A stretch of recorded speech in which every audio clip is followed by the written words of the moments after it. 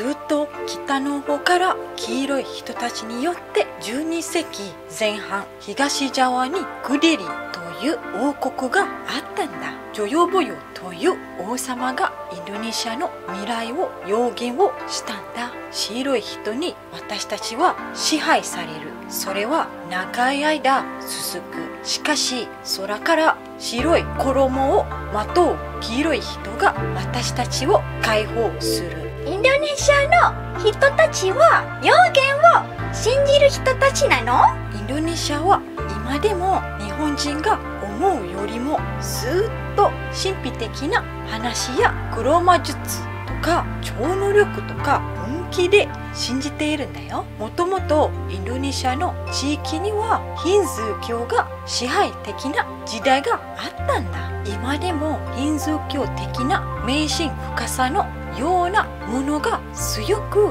強く残っているんだよ。テレビのドラマや映画でもそういった話は大人気なんだよ。だから日本の人が現地の人と本当に仲良くなった時にそんな話をしてマジか。そこまで信用しているのか？と驚くんだよ。でも12世紀の古い古い予言でしょ？そこまで古い伝説のようなものが大東亜戦争の時代まで信じられて残っていたの？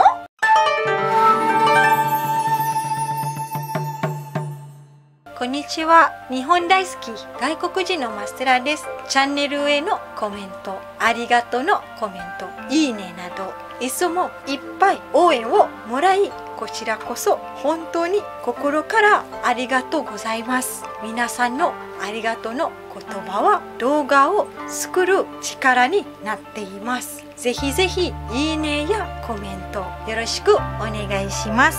今回は日本人にも有名な親日国インドネシアの独立のお話だよ。この話については前にも過去動画で話しているよ。今回はまた改めて少しだけ成長した私から見える部分もあるのでこの話題で動画を作り直すことにしました。それではよろしくお願いします。日本人がアジア解放について話すことは聞いたことがある人も多いと思うけど東南アジアの人の口から聞く機会は少ないと思うんだ。テキストではもちろん東南アジアの人の意見はいっぱいあるよ。ネットでもたくさんテキストを見つけることできるよ。それでもほとんど日本語には翻訳されていないんだ。現地の人も英語を話す人は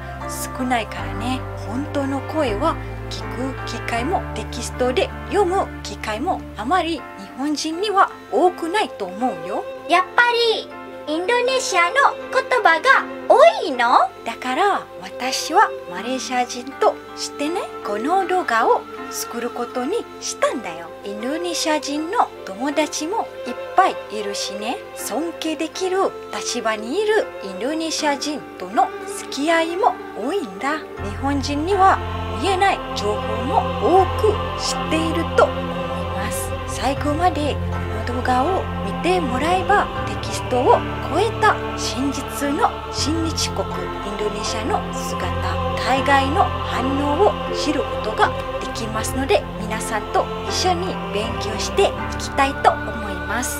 350年もの間ンドネシアは支配され苦しめられていたんだ。私たちは黄色い人たちによって解放されるという伝説。でも12世紀の古い古い予言でしょ？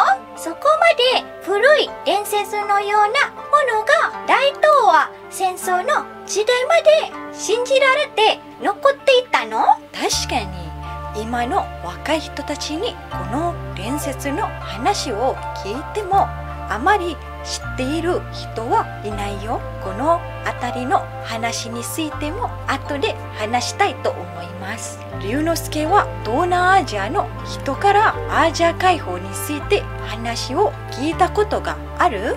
なんて聞いてもあるわけないよね。それはあるわけないよ。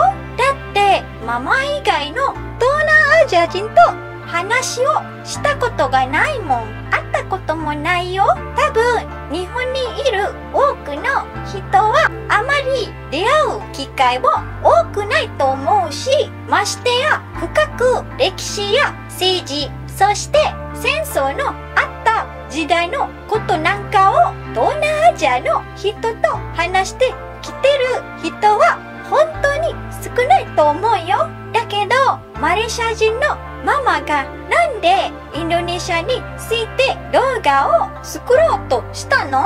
それはね私のルーツにも関係しているんだ。後で私の話はするね。この話を動画にすることができたのはある日系インドネシア人夫婦の話を聞かせていただいたことからなんだよ。日系人の大使館員もいるんだね。ということはこのさんのおじいさんかお父さんが日本軍人だったんだね。おじいさんが英雄墓地のヒーローだったんだ。そして東京の目黒区にあるインドネシア共和国大使館で働いている S さん夫婦。仮名からお話を聞かせてもらったんだ。S さん夫婦の名字は日本名。インドネシアの国立栄養墓地に眠る元日本兵の子孫にあたる人たちなんだ。そしてインドネシア人にとって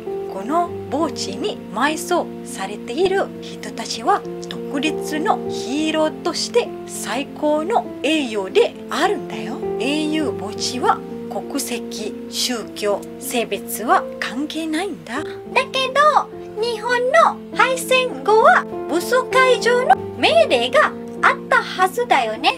独立戦争の後はねしばらくの間は現地で逃げた脱走兵として扱われてしまったんだ。日本政府としてもしょうがない部分もだけど時間とともに認められ日本兵の帰国も許されたんだ。戦後武装解除の命令あったのにもかかわらずインドネシア解放の夢を実現させるためにごいね。英雄墓地で眠る戦争で亡くなった方たちだけではなくてインドネシアにそのまま残り人生を全うした人たちもインドネシアにはたくさんいるんだよ。アジアを植民地支配から解放することを夢に思い戦った日本人兵士を思えば脱走兵とされるの。切ないよね。それでもね1970年代末頃には一時金も支払われ名誉回復したんだよ。日本へ帰国しないでインドネシアに残った人も多かったんだね。どのくらいの人数の日本兵が残ったの？約200名から400名がマレーシアでは残留。日本兵として残ったと言われているんだよ。だけどインドネシアの独立戦争に参加した記録に比べて研究や資料が少なくマレーシアの記録はとっても少ないと言われているんだ。日本の敗戦後すぐにイギリスがマレーシアを植民地にしたことも影響しているのかもしれない。1945年8月15日の敗戦後小説あるけど現地に残りインドネシア独立義勇軍になる日本人は1000人から2000人ぐらいはいたと言われるんだ。そのインドネシア独立のために戦った日本兵の子孫なんだ。S さん夫婦はねインドネシアにあるカリバタ英雄墓地は有名だけどそれ以外にも英雄墓地は各地にあるんだ。カリバタ英雄墓地についても少し話すね。ルレンカリバタ駅から徒歩10分くらいの場所。墓地の全てにヘルメットが飾られていて全ての宗教も認められた墓地なんだよ。そこには美しいブロメリア木があるんだ。そして草木の手入れもちゃんとしてある。そしてインドネシアの中では本当に珍しく綺麗なんだ。本当にゴミも落ちていない。そこは本当に特別な場所なんだよ。ジャカルタでゴミが落ちていない場所ってそんなにすごいことなんだね。日本だと大切なお墓だったら当然だとからそれだけジャカルタの人が独立ということを誇りに思っているということだね。アジア解放の大義については今回はあまり触れないね。インドネシアは350年もの間大航海時代の1602年にオランダ東インド会社を設立から始まった。オランダによる植民地支配の時代が始まるんだ。その頃の日本は関ヶ原の戦いが1603年だから翌年に江戸時代が始まった頃のこと。インドネシアの人口から見るとわずか0.5%のオランダ人が全生産額の65%を独占するというあまりにもひどい状態だったんだ。オランダ人0.5%しかないのに65%を独占していたんだ。オランダはねオランダ東インド会社としてインドネシア人の土地を奪い白人の嗜好品コーヒーやスパイス交渉を作らせた。でコーヒーや胡椒とかインドネシア人がほとんど口にしないものを作らせていたの？それもまるで家畜を扱うかのように働かせたと言われているよ。利益はインドネシア人の食べるものお米を作るよりもはるかに儲けの多い白人に向けて作るコーヒーなどの嗜好品を作らせ利益を奪うためにね。今の時代でえれば利益の高い生産は理解できるよ。だけど全体の65%もの生産額を独占される状態ではインドネシア人にとっての生活インフラと言える。お米や小麦を作る畑が減るだけなんだ。その他多くの地域では飢餓が発生したんだ。たちの口に入るものも不足していたんだ。そして今でも傷跡が深く残る愚民化政策も特徴的なことなんだ。そのせいで貧富の差が世界でもトップクラスな開きがある国になってしまったんだよ。知識人を育てることを避けてインドネシア人が独立する力を作らせないようにしていたんだよ。その時の区民化政策が今でも影響しているのかもしれないね。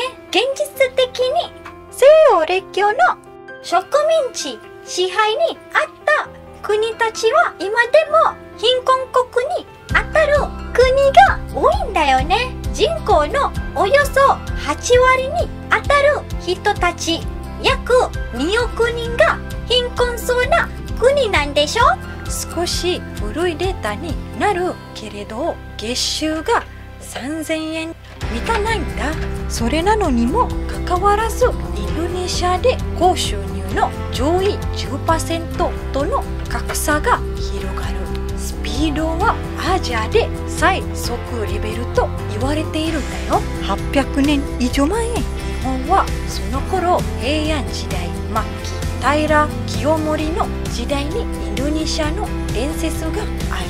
12世紀前半東ジャワにグデリという王国があった。ヨヨボヨという王がいた。1135年から1157年ジョヨボヨ王の予言という伝説がある。でも12世紀の古い古い予言でしょ？そこまで古い伝説のようなものが大東亜戦争の時代まで信じられて残っていたの？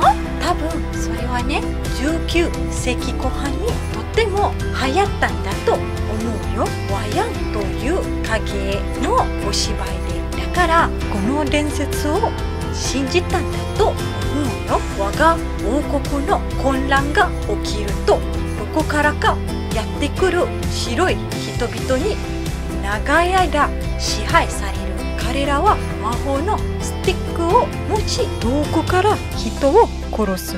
攻撃ができる。黄色人が空から白い衣をまとって降りてきて白い人を追い出し代わってこの地を支配するがそれはトウモロコシが育つ程度の1回限りの短い期間である本当に要件のようになったんだね白い人々それはまるでオランダ人に長い間植民地にされ彼らは魔法のスティックっていうのはライフルや銃のことかな。離れたところから人を殺す攻撃ができる。そして黄色い人が空からこれはまるで日本人が空からパラシュートで降りてきてオランダ人を追い出す。そして日本が支配する期間は極めて短かった。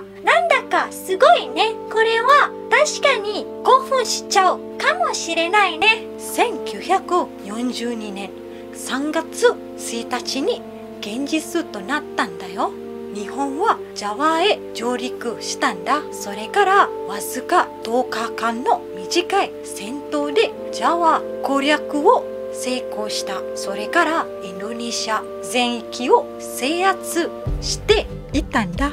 予言を信じた現地のインドネシア人の協力も大きかった。わずか10日間の作戦は成功したんだよ。独立を願ったインドネシアの人々は日本兵に興奮したんだよ。文ウトモ元情報大臣インドネシア。日本軍がアメリカイギリスオランダフランスなど欧米連合軍と戦い我々の目の前で徹底的に打ちのめした。我々は数世紀にわたり我々を支配していた白人の弱体ぶりを見て全てのアジア人が自信を持つことができた独立が可能であることを思い知った。我々が一度心に抱いた自信は決して消えることはないし崩れることは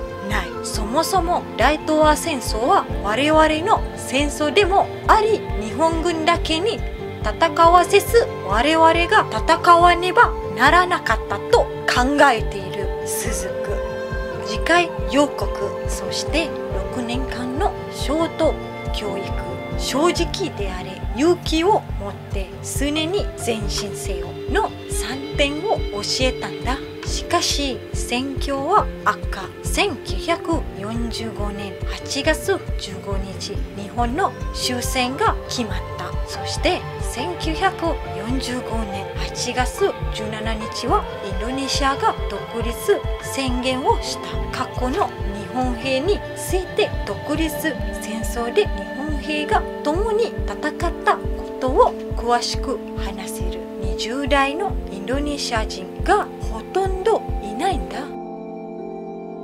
最後までご視聴いただきありがとうございます。チャンネル登録をよろしくお願いします。いいねやそしてコメントを大歓迎です。ぜひぜひコメントいいねをよろしくお願いします。それでは次の動画でお会いしましょう。さようなら。